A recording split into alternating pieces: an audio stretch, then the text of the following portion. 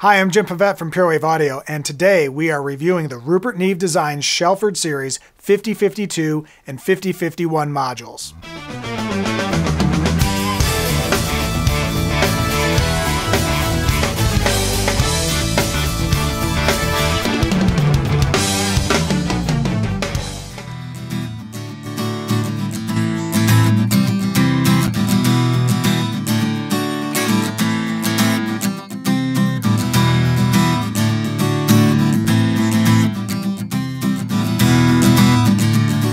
Obviously, Rupert Neve is the legendary pro audio designer of our time, and the Shelford series is an answer to the vintage craze of people wanting their older 1073 type units.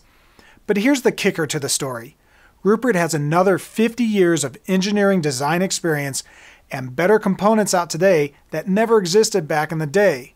In other words, his designs now are far superior than the old ones, and you could get that same coveted flavor of vintage sound. To me, the Shelford series is the holy grail of the classic Neve sound that comes with a warranty and way better specs. The 5052 is a classic Neve mic pre paired up with a classic inductor EQ. Now the EQ section is the best of all Rupert's vintage designs in one. We have the creamy low end of the 1064, the mid-range of a 1073, and the high end of a 1073, but with some more modern choices of frequencies, more often used today. Let's start with the preamp. It has 66 dB of gain with a plus and minus trim of 6 dB. You can engage a continuous high-pass filter ranging from 20 to 250 Hz. It comes with a mic line, phantom power, and phase switch, and a nice LED meter. From there, the signal could be sent to the EQ, which contains all selectable frequencies, either by detente knob or button. There is a variable gain knob with plus or minus 15 dB.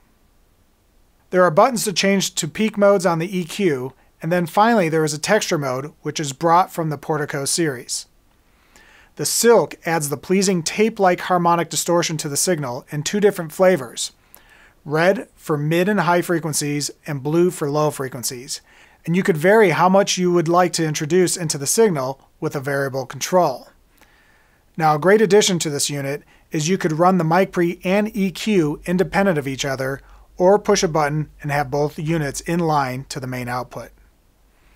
The 5051 is an EQ with compressor all in one. It is the same exact EQ from the 5052, but could be placed in pre or post to the compressor. There are two line inputs available, but only one output, so they cannot be used separately like the 5052. The compressor is a Portico 2 version, which is the latest of Rupert's designs. Along with normal compression settings, this design allows feed-forward or feedback selection, which jumps between modern and vintage compression approaches. It has the ability to be sidechained and linked to another 5051 for stereo linking.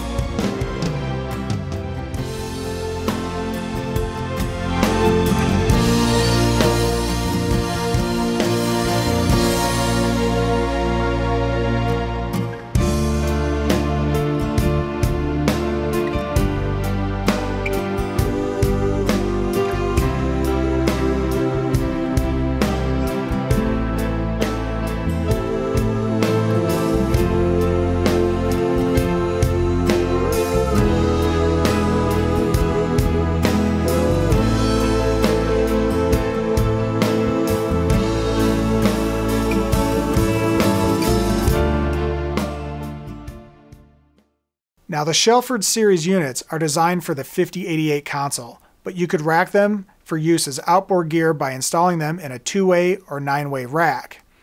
It needs its own plus or minus 24 volt power supply, which is sold separately in a 5 bank or 25 bank if you are filling up a console.